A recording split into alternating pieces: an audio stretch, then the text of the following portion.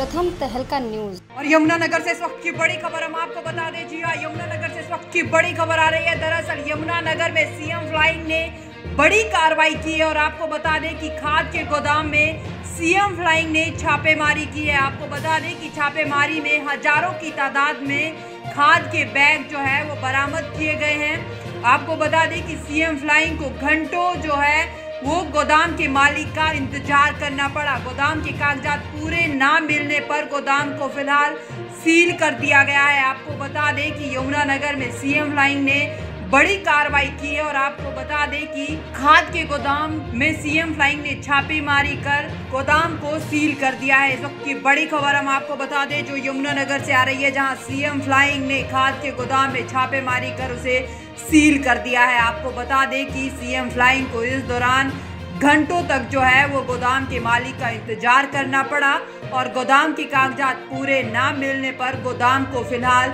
Seal कर दिया गया है। इस वक्त की बड़ी खबर हम आपको बता दें, जो यमुनानगर से आ रही है। आपको बता दें कि सीएम फ्लाइंग के प्रमुख दिनेश कुमार ने छापेमारी को लेकर जानकारी साझा की।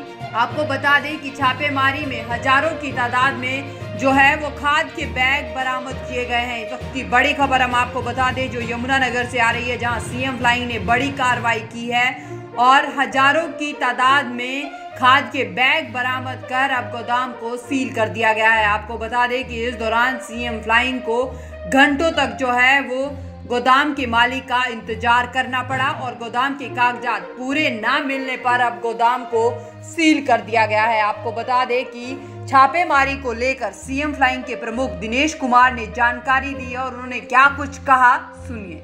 हमारे को गुप्त सूचना मिली थी कि ग्लू फैक्ट्रियों में करेरा रोड पर जो गोदाम बना, वहाँ से जहाँ ये खाद सप्लाई होता है, जिस बिना पर मेरी टीम ने यहाँ पर रेड की गई। साथ में एग्रीकल्चर डिपार्टमेंट कर्मचारी लिए गए और डॉक्टर साहब भी लिए गए और दौरान रेड उनके जो कागजात चेक किए गए, कागजात जो ठीक पाए गए। लेकिन अभी तक स्टॉक रजिस्टर नहीं पाया गया। जब स्टॉक रजिस्टर और बिल मिल जाएँगे, किसकी किसान को बिल दिया गया है, उसके आधार पर कार्रवाई की जाएगी। इस समय डॉक्टर साहब द्वारा गोदाम को सील किया गया है।